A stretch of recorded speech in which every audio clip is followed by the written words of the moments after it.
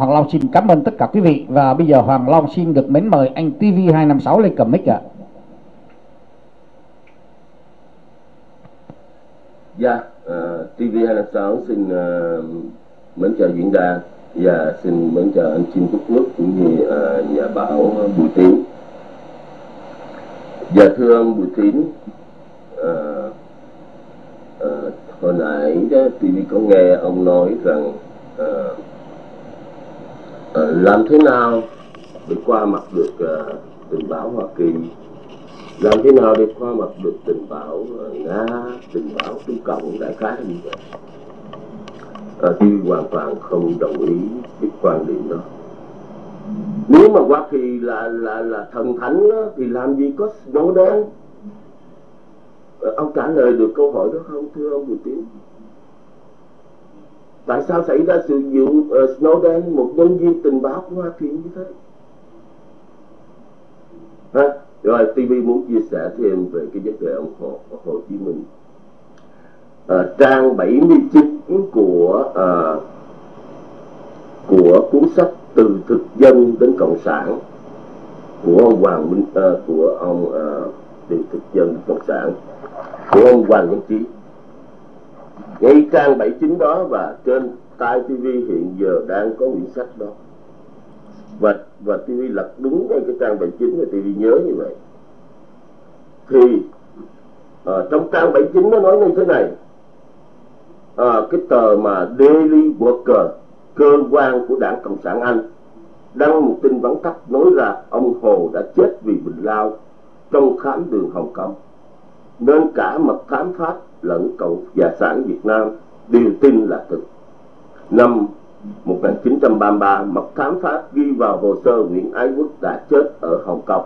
Đó là trong cái trang của uh, của uh, ông Hoàng Văn Chí.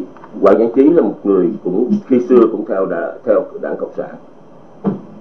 Thì ông nghĩ như thế nào? Một cái người mà chết vì bệnh lao, một cái người mà bị bệnh lao đã có ba hoặc bốn lần nêu lên cái vấn đề ông Hồ Chí Minh chết vì bệnh lao.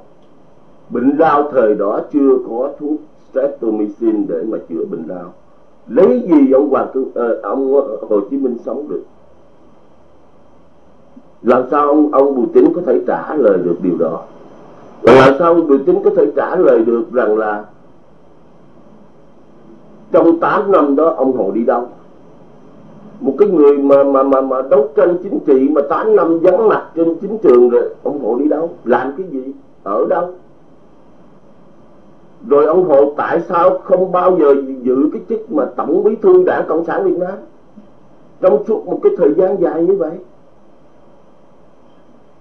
Ông là một cái người gọi là là sáng lập ra đảng cộng sản mà mà ông chưa từng gọi là giữ chức tổng bí thư là làm sao? Tổng bí thư chúng ta có thể thấy trần phú lê hồng phong. Vậy là ông ở đâu? Sau này ông mới làm chủ tịch nước rồi ông mới giữ cái chức tổng bí thư luôn. Thì cái đó mình không nói. À, ông ông Bùi Tiến thấy điều đó không?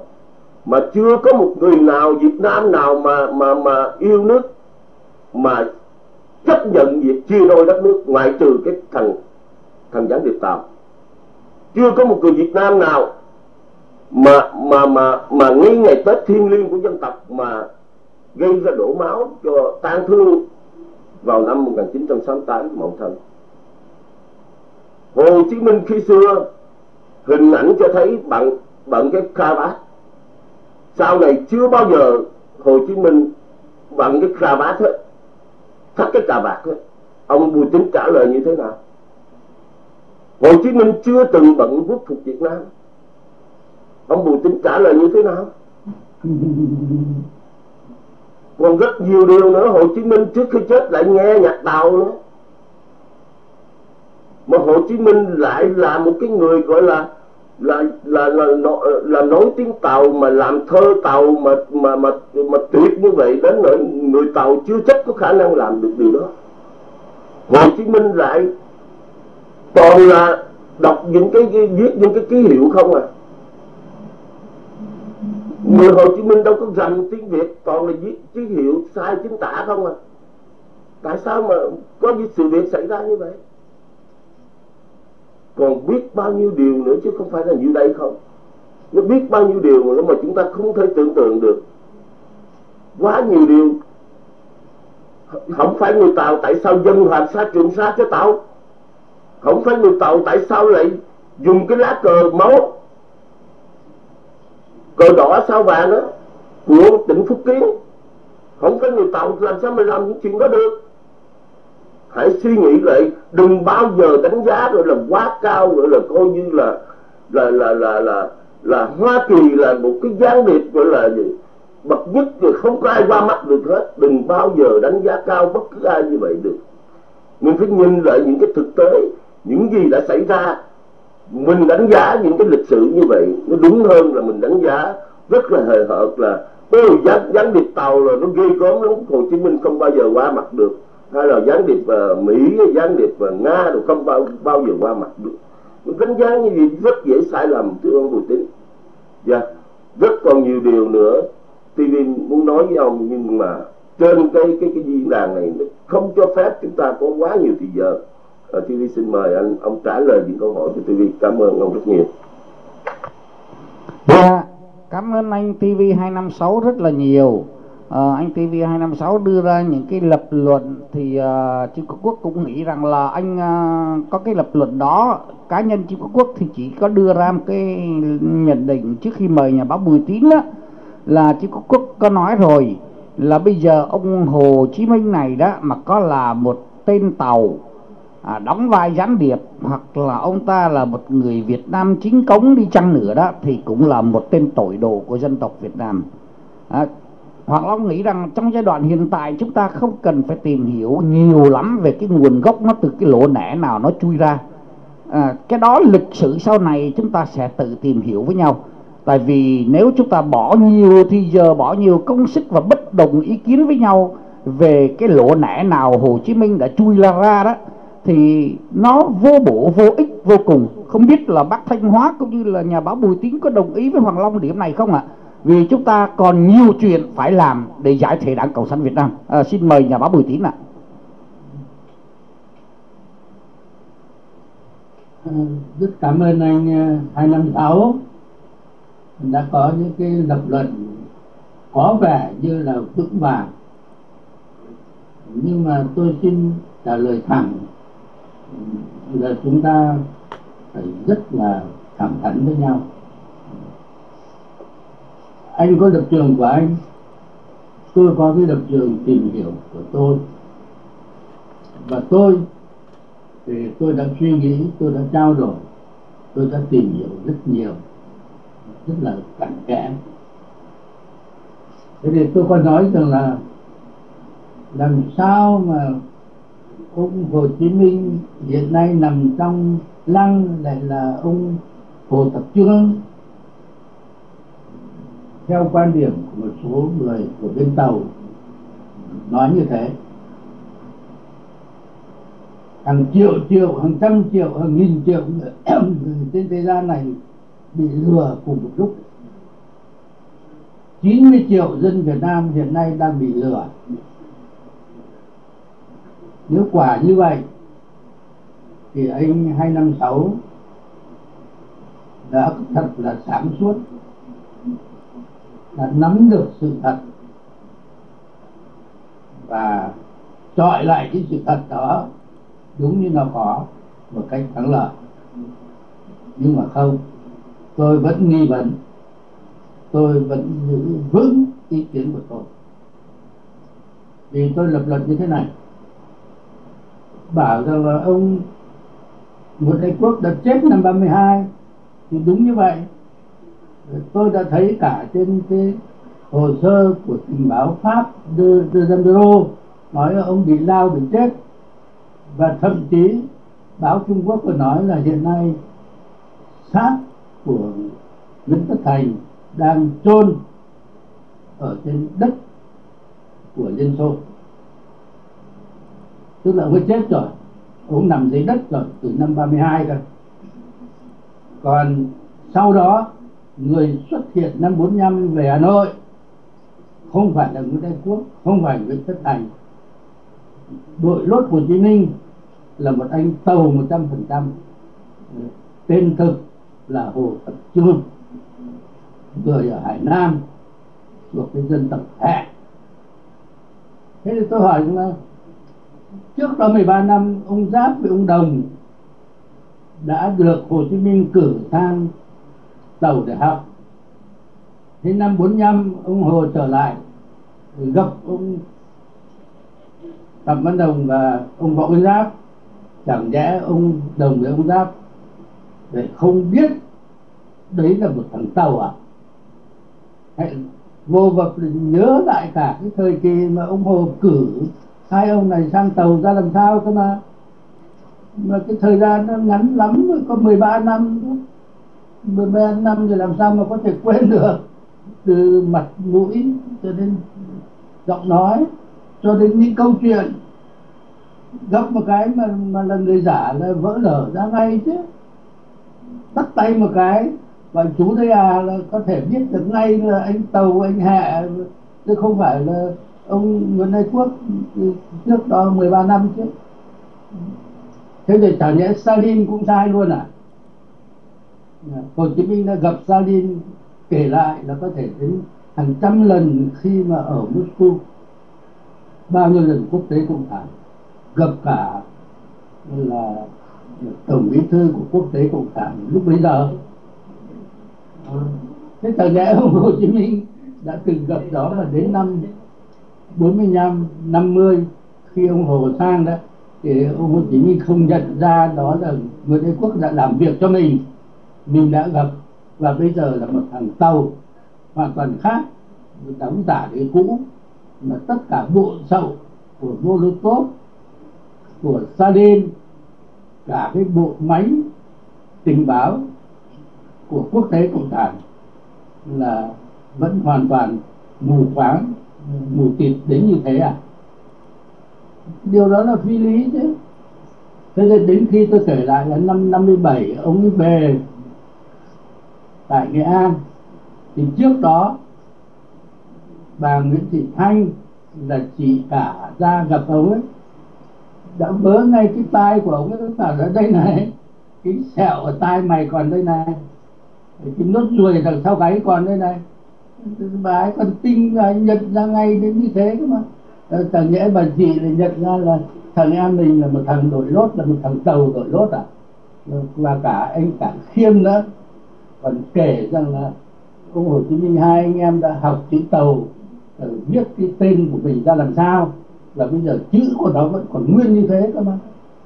Thế thằng nhẽ ông cũng mù tịt và ông nói theo cái kiểu dễ dàng như thế à? Chưa nói đến là hai b tức là phòng tình báo của pháp là DB là không biết bao nhiêu tài liệu về Hồ Chí Minh, mà Hồ Chí Minh sống ở bên Pháp từ trước đến như thế. Đến năm 46 trở lại gặp Kê gặp Vicro gặp những bạn cộng sản cũ. Để mà nói lại cái pháp cũng ngọng vẻ hơi tiếng, cái tiếng nghệ như thế. Mà tất cả Torres rồi với Vicro với những cái bạn cũ thời pháp không nhận ra đấy là một thằng tàu à? Làm sao mà có thể đến như thế được? Cho nên là những cái điều mà anh hai năm sáu đã cả tin là đó thì cái, những cái điều những cái lập luận đó hoàn toàn không chính xác. Ví dụ như nói là nếu mà ông ấy là người Việt Nam thì đã không chia cắt đất nước đã không chọn cái lá cờ cờ đỏ sao vàng của cái tỉnh nào đó của Trung Quốc. Chuyện đó đã xảy ra chứ. Có thể chứ, do do anh đại, ảnh hưởng của đệ tam quốc tế chứ. Cho nên là chính ông Hồ Chí Minh ờ, ông Nguyễn Tất Thành và Nguyễn Đế Quốc đã chọn cái điều đó chứ. Ừ, ờ, thế chưa nói đến CIA ừ, chưa nói đến Scotland là hoàn toàn là tin cậy, rõ ràng với đế quốc lên của chúng mình không hề có ít nhất có một nghi vấn chứ, nhưng không. Họ tin, bởi vì tất cả cái lập luận sau này của ờ, ông Hồ Tập Trương đưa ra với cuốn sách như thế đó là giả, là dựng đứng, là hoàn toàn bịa đặt, mà chúng ta có thể bác bỏ từng điểm một một cách khoa học, biện chứng, không thể tồn tại được. Cho nên đấy là cái điều mà tôi cũng xin góp ý với anh hai năm sáu tất nhiên nếu anh giữ nguyên ý kiến là của anh ờ, tôi thì tôi giữ nguyên cái lập luận của tôi ờ, đây không phải là tôi sùng bái các cái cơ quan tình báo quốc tế nhiều lầm lẫn lắm nhưng mà trong điểm này họ không lầm lẫn đâu Vâng, cảm ơn nhà báo Bùi Tín. à, ờ, Hoàng Long cũng xin phép được bổ túc một chút xíu như thế này nè. Cái nhận định của Hoàng Long nó rất là dễ dàng à, và đồng ý với huyền thoại nữa đó. À, bây giờ chúng ta có nhiều chuyện phải làm chúng ta hơi đâu bỏ thì giờ công sức của chúng ta để tìm nó là thằng Tàu hay thằng Việt Nam bán nước. Cái chuyện này đó khoa học ngày hôm nay người ta đã có DNA rồi. À, thì mai mốt đó khi chúng ta giải thể được cái đảng cộng sản việt nam này chúng ta lật mã bố mã mẹ của hồ chí minh lên à, rồi lật mã của hồ chí minh lên rồi đè uh, nguyễn tất trung à, nông đức mạnh ra chúng ta lấy mẫu dna chúng ta thử là xong phim. Chả hơi đâu mà tranh cãi bây giờ. Có đúng không quý vị? Đào mã bố mã mẹ của hồ chí minh đào mã hồ chí minh lên là xong.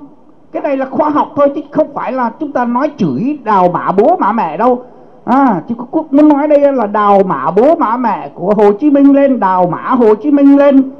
Chích dna ra thì chúng ta biết là xong. Phải không thưa bác bùi Tiến? Tại sao chúng ta phải mất thì giờ khi mà chúng ta còn nhiều chuyện phải làm? Rồi còn về những cái chỉ tiêu à, về về những cái cái chỉ dấu mà anh uh, TV 256 cũng như những cái tin nguồn trên mạng. Thì chúng ta biết đó, là Hồ Chí Minh nào là mặc áo giống người tàu giống uh, giống Mao Trạch Đông nào là làm thơ tàu nào là lấy vợ tàu tăng tuyết minh rồi nào là trước khi chết xin được nghe một bài hát trên tàu vân vân và vân vân. Thì những cái chỉ dấu này nó càng tốt thưa quý vị. Những cái chỉ dấu này càng chứng minh cái bản chất vọng ngoại của Hồ Chí Minh là một người bán nước và đưa dân tộc chúng ta vào cái cái cái cái cái, cái hệ trạng ngày hôm nay thôi.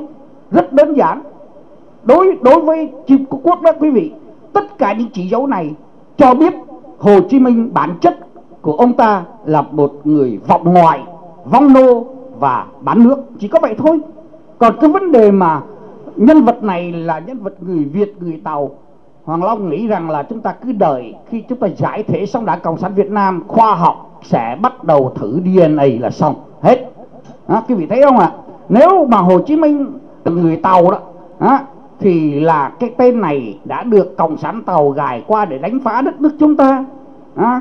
còn nếu mà Hồ Chí Minh là người Việt thì Hồ Chí Minh là một người phản quốc chấm hết họ không thấy rằng là nó đơn giản vô cùng chúng ta không cần nên mất nhiều thì giờ như vậy à, Hoàng Long xin được mời anh TV 256 lên trở lại nhá Dạ, yeah.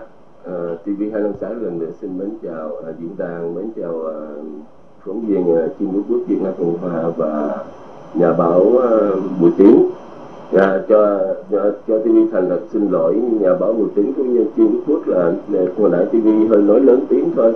Chứ ngoài ra TV không có một tí ác khí gì ờ, với nhà báo Bùi Tiến hết. TV rất là quý nhà báo Bùi Tiến và rất tôn trọng ông.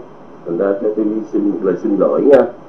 à, một lời ờ, thành thật xin lỗi nhưng mà thật sự với nhà báo Bùi Tín cái chuyện mà chúng ta nói bàn về à, ông Hồ Chí Minh đó nó cũng là trong cái tiến trình đấu tranh để mà uh, để mà uh, làm cái sụp đổ cái chế độ cộng sản này thưa anh Kim Quốc Quốc. Đừng có nghĩ nó là vô bổ. Uh, nhưng mà anh nghĩ vô bổ thì TV không đồng ý. Nó vẫn có vô bổ và nó vẫn tốt cho công cuộc đấu tranh của chúng ta. Không? mọi người chúng ta đều có quyền thắc mắc. TV chưa nói ông Hồ Tập Trương nào hết. TV chưa nói ông Hồ Tập Trương nào hết ông Bùi Tín à. TV chỉ nói tất cả những sự kiện xảy ra có thật và TV hiểu rằng chưa có một người nào mà thoát chết khỏi bệnh lao phổi. Thời đó TV khẳng định điều đó. Và trong những cái những cái mà mà mà tài liệu mà lịch sử cho thấy ông Hồ đã bị bệnh lao, ít nhất là có ba, bốn tài liệu như vậy ờ, nói về cái bệnh lao đó. Và chưa có một người nào qua khỏi bệnh lao đâu, ông Bùi tính à tất cả những người bệnh lao đều phải chết hết. Và người ta nói ông chết năm 1933 là vì tin tưởng đây là sự thật. Vì chỉ nói điều đó cho ông thấy thôi. Và một điểm thứ hai, đừng có bao giờ mà quá tôn trọng, quá đề cao cái cái cái cơ quan tình báo CIA CIA chả cái tài giỏi gì đâu không? Nếu mà không có tài, nếu mà có tài giỏi không có để lọt cái sự, cái cái cái vụ mà xảy ra mà quan trọng quá sức đời đi là cái ông gián điệp mà Snowman uh, Snowden đó. Dạ, Nha yeah, TV chỉ nhắc nhở ông điểm đó thôi. Yeah, thôi TV cũng cảm ơn sự trả lời của ông. Và TV xin uh, trả mic lời cho anh nhà chính Phú Quốc. Dạ vâng cảm ơn anh TV trời ơi à, đâu có ai giận đâu có ai hờn gì đâu chúng ta đang uh, chia sẻ đóng góp ý kiến với nhau hết á. Thành ra không có cái chuyện gì uh, mà ai giận ai hết. Uh, khi mà chúng ta nói chuyện giọng của chữ quốc cũng lớn vậy thôi. À, thì uh, thực sự đó uh, không phải là hoàng long muốn nói rằng là nó vô bổ đâu thưa anh tv hoàng long không có ý, cái ý nói rằng là nó vô bổ. Nhưng mà cái vấn đề nó như thế này. À, cái vấn đề đó là tất cả những cái gì mà chúng ta nói lên đó về sự thật về Hồ Chí Minh nó có đầy dẫy trên internet hết rồi. Chúng ta tự tìm hiểu với nhau đi tự tìm hiểu đi. Chúng ta không nên từ cái chỗ đó mà chúng ta tạo thành những cái bất đồng ý kiến và nó có những chuyện uh, không tốt nó có thể xảy ra giữa anh em chúng ta. Đó. Chỉ muốn nó như vậy thôi. Còn tất cả những cái gì khoa học ngày hôm nay sẽ được giải quyết ờ, trong vòng ờ, một tháng trời ngay sau khi đất nước chúng ta thoát khỏi cái hiểm họa cộng sản này thôi à, chứ còn thực sự ra đó Hoàng Long nghĩ rằng cái sự đánh đổ hình huyền thoại Hồ Chí Minh đó thì đã có rất là nhiều người làm rồi đó. đã có, vâng đồng ý với bác Thanh Hóa là anh Trạch Ngách khó tin lắm nhưng mà như nhà báo Bùi Tín cũng đã có nói hiện nay tại quốc nội đó cũng đã rất là nhiều người tuổi trẻ và đồng bào tại quốc nội họ đã nhìn ra được Hồ Chí Minh là nhân vật nào rồi kính thưa quý vị chứ không phải mà chúng ta cần phải đem cái hình tượng Hồ Chí Minh ra mà chúng ta uh, nói rằng là người Tàu hay người Việt mà chúng ta đánh đổ được cái huyền thoại đó đâu. Uh, hoặc là nghĩ rằng chúng ta chỉ cần nêu ra tội ác của cái nhân vật Hồ Chí Minh thì cho dù cái nhân vật đó có người là người Mỹ, người Tàu, người Nhật, người Đức thì cái tội ác nó vẫn là tội ác. Quý vị có đồng ý không ạ? Cũng giống như cái nhân vật Hitler hoặc nhân vật Stalin đó mà bây giờ đã nói là tội đồ của nhân loại à, thì bây giờ đó cái nhân vật đó có là người nga người ukraine hoặc là người ở cái tiểu bang nào đó trong liên bang xô viết cũ thì nó cũng như nhau hết thôi. Cũng là tội ác và là tội đồ của nhân loại. Đó thì hoàng long chỉ muốn là nó như vậy. Là chứ không phải là chúng ta nói là, là vô bổ đâu. Hoàn toàn không có cái ý kiến đó. Xin mời nhà báo bùi tín nếu nhà báo bùi tín có thêm những cái gì bổ túc uh, xin mời nhà báo uh, bổ túc ạ à. tôi nghĩ là chúng ta trao đổi thì không có vấn đề gì là cấm gì không có vấn đề gì là không nên đề cập cả ai muốn đề cập vấn đề gì cũng nên cũng cũng vâng. được ờ, nhất là những vấn đề ấy này tôi nghĩ là lại có lợi có ích nên tìm sự thật là rất là tốt hai nữa là tôi chỉ xin góp ý cuối cùng với anh hai năm sáu là anh có cái suy nghĩ hơi hơi chặt chẽ quá. Ví dụ như anh nói là không có ai thoát khỏi cái, cái chết vì vì lao. lao cả thế tôi có một cái kinh nghiệm rất là sống động. Tức là anh biết anh Nguyễn Khắc Huyền đó anh ấy bị lao từ năm 26 tuổi. 28 tuổi anh cắt đi hẳn một bên phổi. Một bên phổi ép chỉ còn có 2 phần 3 anh ấy nghĩ rằng là chỉ còn sống được 6 tháng. Và năm 1963 anh ấy về nước. Anh nói là cũng may lắm, sống thêm được 3 năm. Nhưng mà anh ấy sống đến năm 82 tuổi. 40 năm sau mà đấy là lao phổi chính cống đấy. Ừ. Cho nên là người ta có đủ thuốc ngay từ những năm 30 ừ, để mà hạn chế cái vi trùng cốc. Và người ta có những cái mổ phổi, ép phổi, cắt phổi ừ, để nó không lây sang các bộ phận khác. Và anh ấy tưởng là anh ấy sống 32 tuổi, nhưng anh đã sống đến năm 80 tuổi thì chính ấy là cái bệnh chính là, là bệnh lao đấy và sống lai đến như thế. Cho nên tôi nghĩ là ông hồ lúc đầu là bị ho ở trong tù đó rồi sau này ông chữa khỏi bệnh đó nhờ đủ các thứ thuốc từ thuốc nga cho đến thuốc ở bên tàu rồi, sau này ông khỏe ra và sống đến 79 tuổi đó là cái điều có thật không phải là không thể có đâu. Đấy là tôi tôi, tôi chỉ xin góp ý như thế. Vì cái, cái nghĩ hơi rốt ráo ừ, của anh 256 về cái việc lao vâng cảm ơn.